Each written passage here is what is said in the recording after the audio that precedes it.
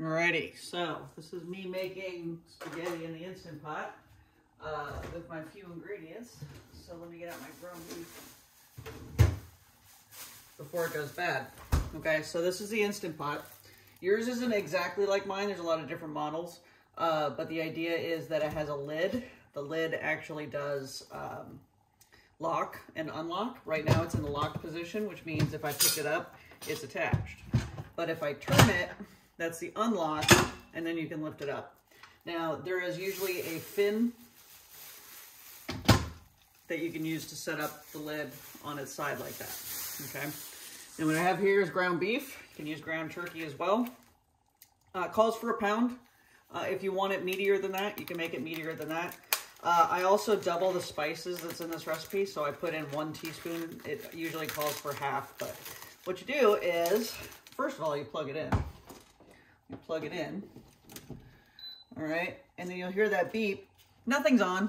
Um, it turned, I mean, nothing's heating up right now. It's just on. Uh, it says off on the front for mine. Again, yours might be a little different version. We're only going to use two functions. One's called saute and one's just called, and yours called pressure cook, and for me it's called manual. Uh, those are the only two buttons we need. So I'm just going to take the ground beef and I'm going to dump it in the pot. And let me turn on on this. And I'm going to turn on and show you. So when I plugged it in, it says off. Now for me, I'm setting it to manual. Oh, I'm sorry, not manual. I'm first sauteing. So you're going to saute the beef. So you're going to press saute. You're going to make sure it says more or high or something.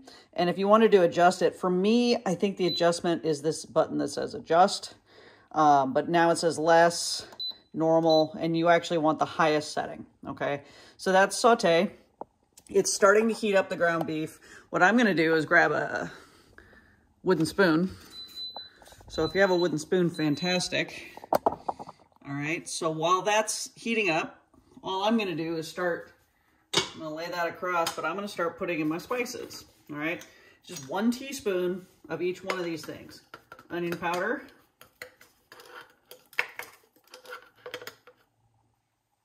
Okay, you do this on the meat because it's the meat that you're flavoring really. Okay, so there is uh, onion powder. That's gonna go in garbage. Uh, garlic powder.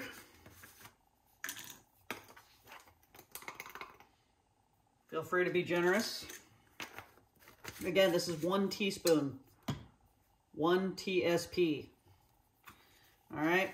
One uh, Italian seasoning. One teaspoon of that.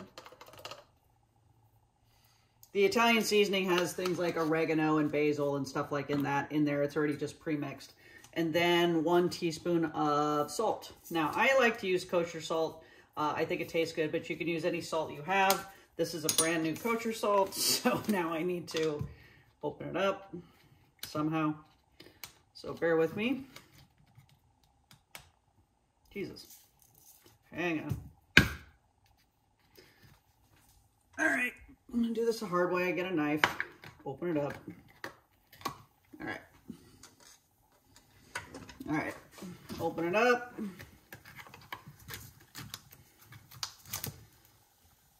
All right, good. Now my kosher salt's ready.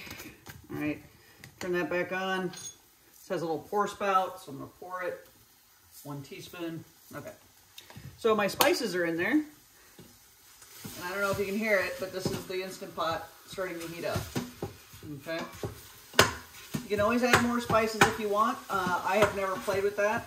Uh, you know, you can add more of each of these. You can add other spices if you like, if you like pepper or anything like that. Uh, but this actually makes it pretty tasty. Okay. Once this is cooked, so I'm just breaking up the meat. I'm going to show it to you literally just poured it in there and now I'm just stirring it up. The nice thing about this is it's literally all in one pot. Okay, so I'm just cooking the meat. I'm waiting until it gets brown. Okay, now while I'm doing that, here's a little trick. So you're gonna end up pouring a whole jar of sauce. The, the sauce happens to be 24 ounces. Okay, but what they don't tell you is on a lot of these jars, it gives you lines and measurements. And those measurements, Kato, stop it. Those measurements are also ounces. So there's a line here, and I don't know if you can tell, it says 8, 12, 16, and if you fill it up to about here, it's 30, it's 24. Okay, so that's the 24 ounce mark. Well, the recipe calls for 36 ounces of water, so it's basically a jar and a half, uh, one and a half jars of this filled with water, in addition to this jar of uh, sauce. Okay. So once this is brown, oh, you know what I also like to do while this is cooking is get out my can opener because it takes a minute. I start. I like to get this open because obviously it's hasn't been opened before. Okay, so that's ready to go. And then I also have my uh, diced tomatoes. I like the fire roasted. They make the the spaghetti taste really good. But you can get anything. They also have like tomato. They have basil. They have regular. Um, you can use this uh, diced tomatoes, or you can use tomato sauce. I've never used the tomato sauce. Um, it's thicker and more concentrated. This is a little bit easier, I think, if you have the, you know, acid reflux or anything. So I'm just getting that opened to get started because we are going to pour this in. Now, you don't do anything until the, the meat is done being browned, uh, but I like to be prepared because then we're just ready to go. Okay, so now we're just waiting.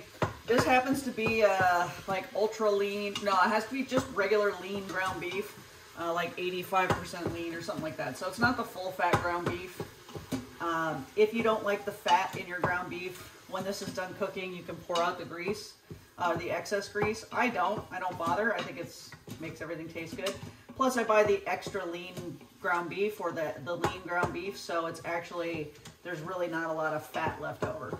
Okay, so the meat's almost brown. Um, while that's happening, I usually put the spices away when I'm done with them those four things. All right.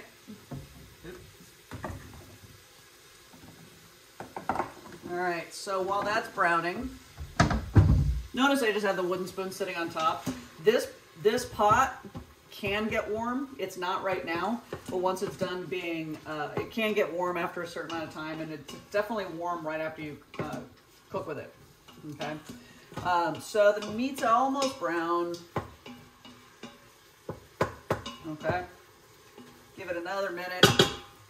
Um, the next thing that you do is actually going to be taking your pasta. It is one pound of pasta. These boxes are one pound. If you buy them in the bag, they're usually two pounds. So you got to be careful that this recipe calls for one pound. So if you have a bag, you're going to want to do half of it. Okay. Um, so otherwise, it's it's not going to be very flavorful. So what you're gonna do with this browns, pretty brown.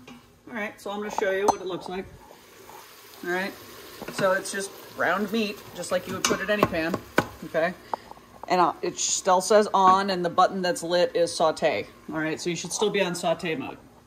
All right, when you're done sauteing, well, actually, I'll, I'll wait. I'm not gonna do anything else. I'm gonna leave it on saute and then I'm gonna follow the next step because my, my meat is now brown, okay? So the first thing you're gonna do, all right, the pot isn't gonna be enough to hide, to cover these, uh, I'm sorry, to hold these noodles as they are. So you're gonna break them in half, okay? And you're gonna just lay them on top of the ground beef. That's all you're gonna do is break them in half and sit them on top. Do not stir them. You don't want to stir them at all in fact, on some of these noodles, I even make like crisscross. Happens to be linguine. I like thin spaghetti. You can do angel hair. You can do any kind of straight pasta that you want. Get all of that pasta. By the way, this is makes, I mean, this is a lot of spaghetti, so it's really good. Okay, so again, I put all this pasta in here. I have it sitting on the ground beef. Do not stir it, okay? Now you're gonna stir it. Now you're just gonna pour it over, not stirring. Tomato sauce, or I'm sorry, the uh, spaghetti sauce. Okay. Water, which is 36 ounces. Again, one and a half of these. Okay, because this is a 24 ounce uh, jar. So 24 ounces and then 12 ounces. Okay. So I'm gonna go over to the sink. And I'm gonna fill this up. Okay, 24 ounces. And it also has the added benefit of uh, getting all this sauce out.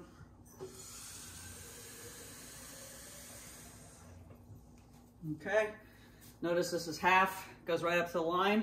So one and a half, okay? Still not stirring, you are never gonna stir this until it's done. Here are my diced tomatoes. I'm just gonna pour those bad boys in there. Okay.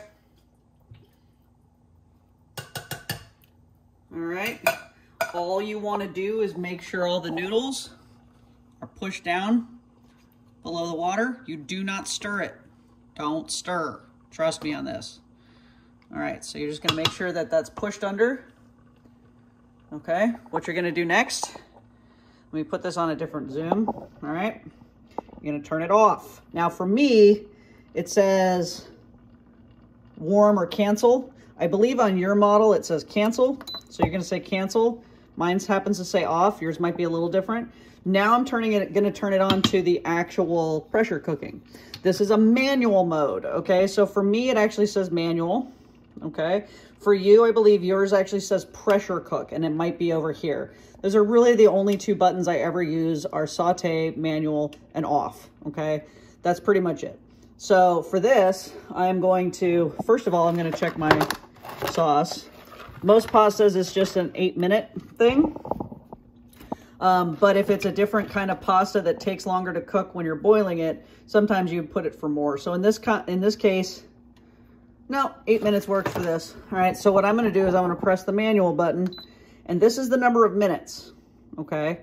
15, uh, if you go and it says eight and then zero, zero, that actually means eight hours. You don't want that. You just want it to say eight. So I'm pressing the minus button until I get to eight. Now, on my model, I don't have to press any buttons to start, okay? All I have to do is close the lid and lock. And then the last thing you have to do is this vent, okay? Now your model is gonna be different, but they have this vent thing, okay?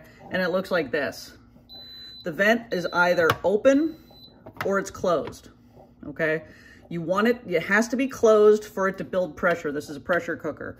When pressure builds up, which is just steam inside, and that's what's cooking it, then this little silver thing is a little pin. When it pops up to the top and it's flush up here, it means it's come to pressure, okay?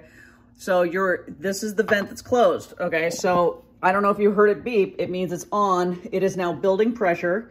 Once that comes to pressure and this thing rises to the top, this, this little pin, then it starts that eight minute countdown.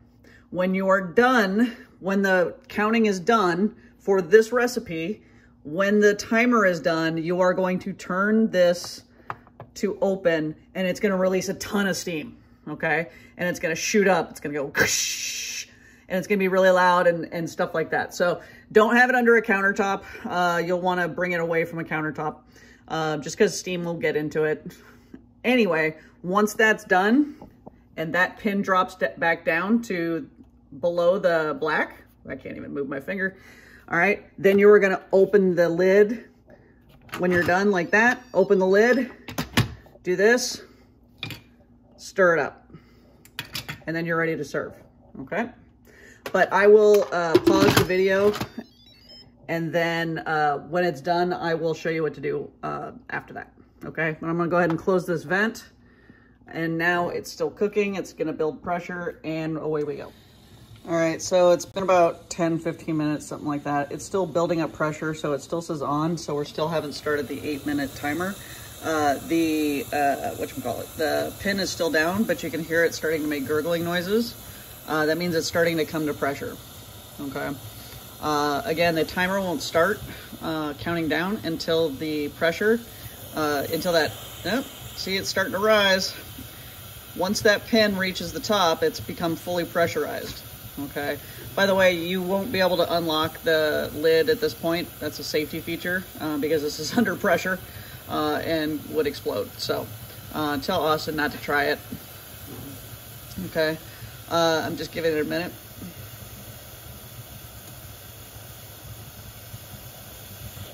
There it goes. So you see that pin drop from the top.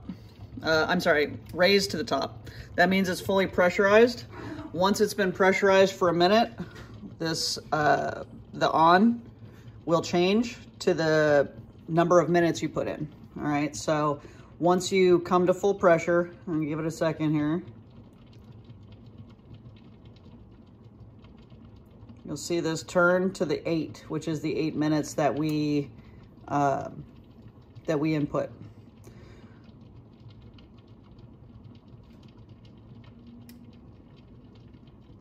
By the way, the one thing I did not say uh, is when you press manual, that manual button right here, you actually want it to say high pressure instead of low pressure. Okay, so you wanna make sure high pressure is the one that's lit up. Usually you do that by this adjust button or some other button on your um, Instant Pot as well. All right, so still waiting for the timer to go.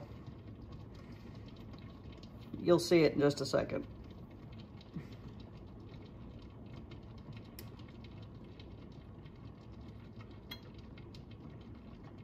Jeez.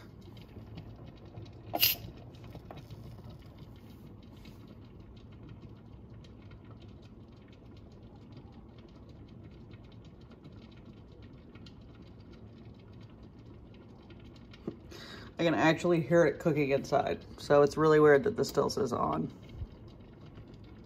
I didn't think it took this long. Only when I'm waiting.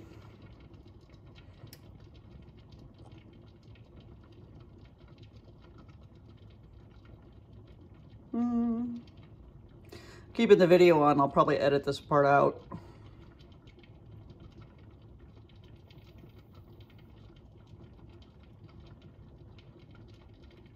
Wow, they aren't lying. A watched pot never boils.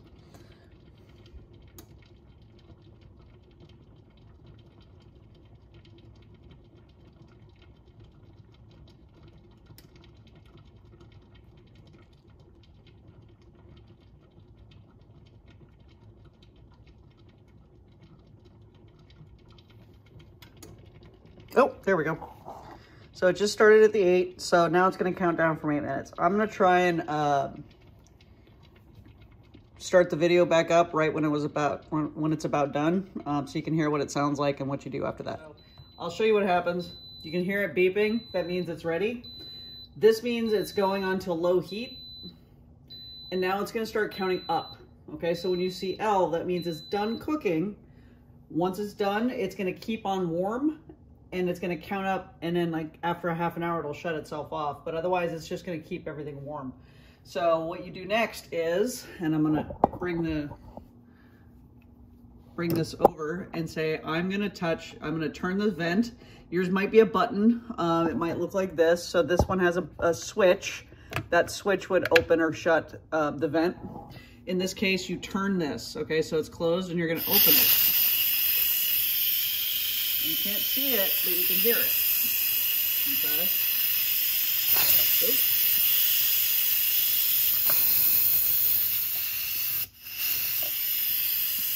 Okay.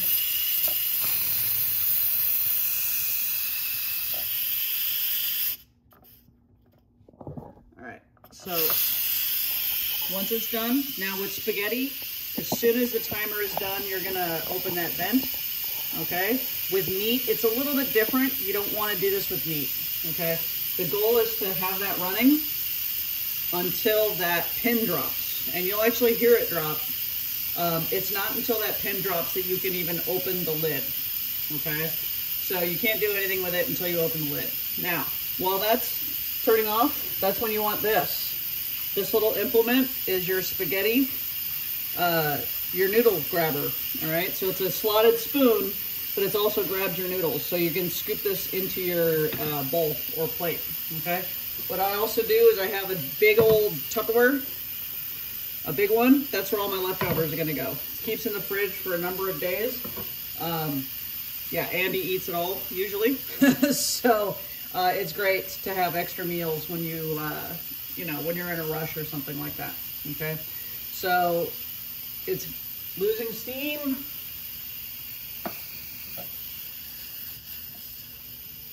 Okay, still going.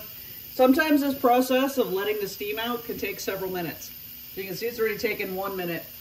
Just based on, or it's, it's actually up to two minutes now. So um, we're just gonna let this run.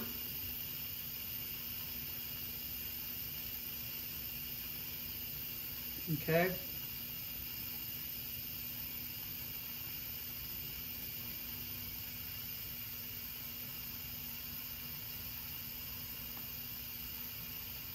Usually a little more forceful in this, so I might have something on the inside of the lid that's um, not sitting right. It's okay, still releasing steam. It's just not as forceful as usual. Still gonna be very good. All right, we're at the three minute mark. Normally you can even see the steam, so don't be surprised. Just don't put your fingers in the way or anything like that. You might burn yourself. Um, I haven't, but uh, it is possible. I mean, it is steam, so.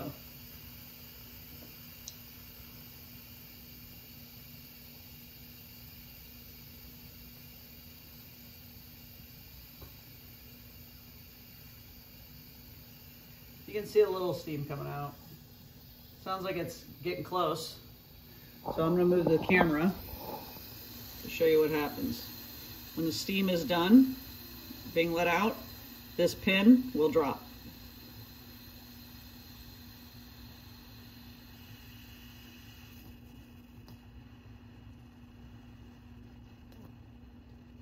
Now my Instant Pot is years old, so sometimes it's supposed to drop and doesn't totally. So for instance, there. Okay, so it actually did drop. Now it's ready to be opened. Okay, so I'm gonna set this back down. Grab it, turn.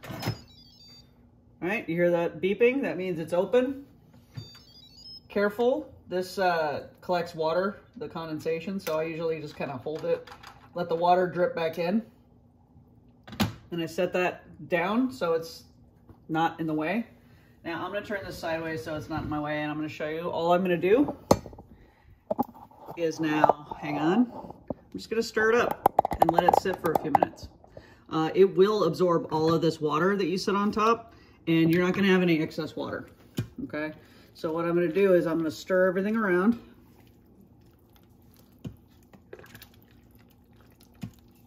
There's a lot more water than usual, I'll tell you. Um, but we're gonna let it sit. Uh, a lot of it does get up, end up getting absorbed, okay? But once that's done, I usually let it sit for a few minutes. Um, once it's done, you can scoop out your pasta with your little pasta scoop, okay? And put it in your plate. And that's all you have to do, okay?